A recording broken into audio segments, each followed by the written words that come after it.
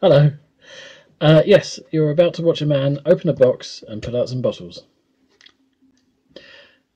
But seriously, the um, before I bought these, I had been concerned that uh, there'd be horror stories and videos and online um, about the contents breaking or overflowing or the bottles emptying themselves. So I, I figured this was a valid video. Uh, so let's get started. Comes in a standard DHL cardboard box. Parcel tape, of course, around the outside. You open her up. And inside we are surrounded by a single layer of bubble wrap. We have a printout telling you all about what Crimson do. And a bow around a brown paper parcel. Let's uh,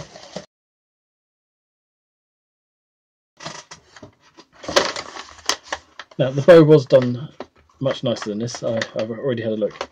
So yeah, inside you get brown paper with a bow around, it, which I'm sure is just for effect. And inside we have our bottles. Our bottles in what looks like a um, a vacuum sealed bag, which hasn't been vacuum sealed, but it has been sealed. And everything seems to be exactly as you'd hope. Uh, let's get the bottles out. We have the penetrating finishing oil. We have stain 1, red. Stain 1, blue. Stain yellow, stain yellow, stain 3, yellow. And I hope the banging on the desk wasn't too annoying. Um, I've got to get them out and have a quick go, haven't I? One moment. so, bottles out, a bit of wood which has been quite roughly sanded. Uh, I'm going to use some sponges here, but I'm going to kind of fold them tight so uh, we're not soaking up all the uh, thing.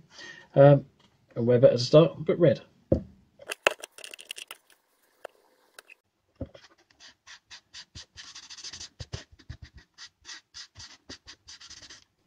And that's definitely red. Just to do a little bit more so I've got an idea.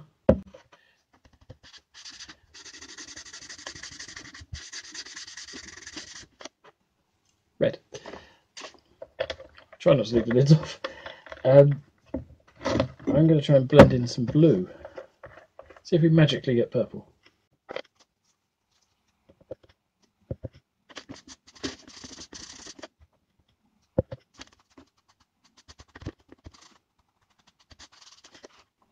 They're very vibrant. Um, I haven't magically got purple in the middle here, um, but then that was only a, a rough experiment. Um, let me just try some on the edge here.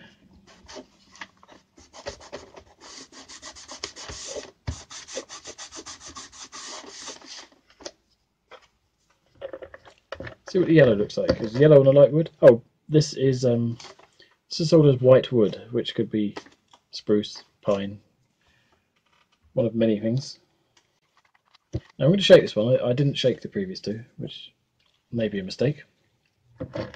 If there's pigment.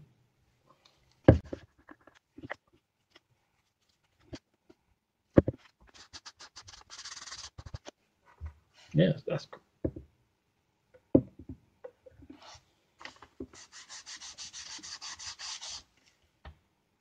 That's really nice.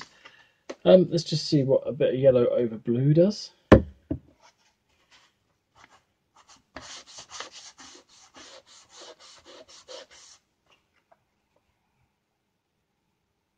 I guess that's green. and um, over a bit of the red.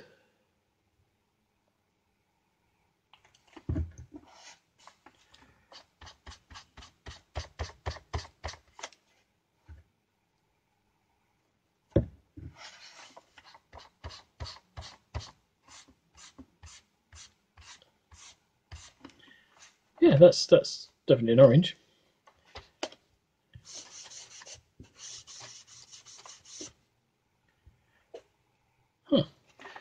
Um, okay, this was just supposed to be a quick uh, get it out of the box and give it a go.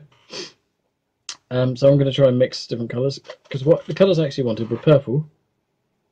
I haven't got a purple. I wanted a brown. We don't have a brown. and uh, an orange, and I don't have an orange either. But I thought maybe I could try mixing these and see what fun I could have. They're not expensive anyway, so I have to buy the right colours. Then that's what I have to do. Um, if you're still watching, then uh, thank you very much for watching this far, and I'll see you in the next video, uh, mixing stuff up. I realised I didn't actually make a conclusion. Um, the point of this video was to see how well they were packaged and whether they survived the journey. They did survive the journey. They're relying on the strength of the cardboard box rather than any padding within it. Um, I can only imagine they'd go wrong if the top of the bottle took a knock, but um, that seemed okay. Um, I also realised that the staining was kind of a flawed process, but there'll be more on that later. Probably mixing the stains first before putting them on. Anyway, um, thank you very much and goodbye.